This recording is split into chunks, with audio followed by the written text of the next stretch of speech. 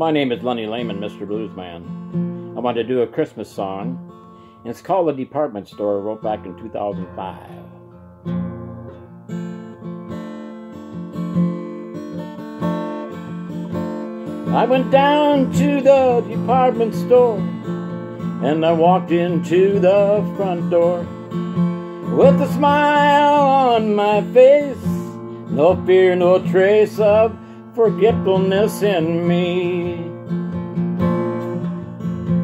I was looking for some fun times, something I could smile about. Snow was falling and it was cold out. But I was warm inside the department store.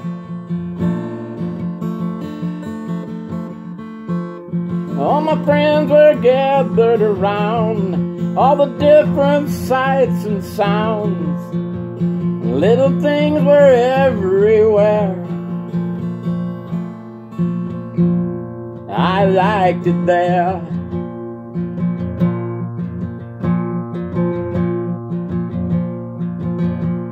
I was among my friends and I discovered lots of them around Christmas time.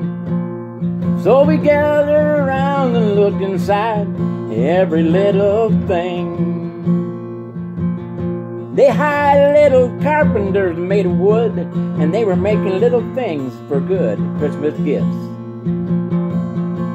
And they had date bread and honey cookies. All the stars were in the sky. Above the rest, I saw Jesus in a manger and all the guys gathered around. We were looking at the sights and sounds in that department store.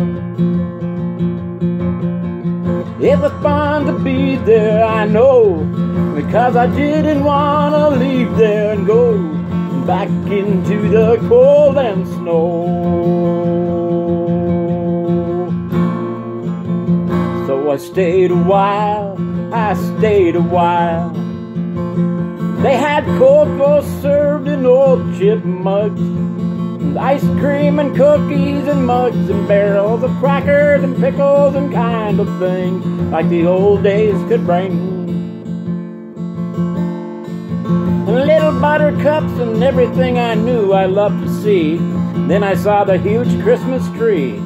It lit up and the lights sparkled, I knew just for me. I smiled and I looked up high. Oh, my eyes, they opened wide.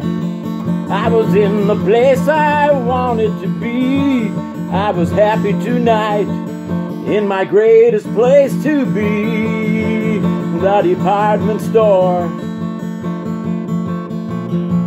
I smiled and my eyes grew bright. I was happy tonight. Now I welcome you to the one place on the block I call the department store. Merry Christmas, have a great Happy New Year, and come on into the department store. Welcome to the department store. God bless you all. Have a Merry Christmas. Mr. Blues Man, Lenny Lehman.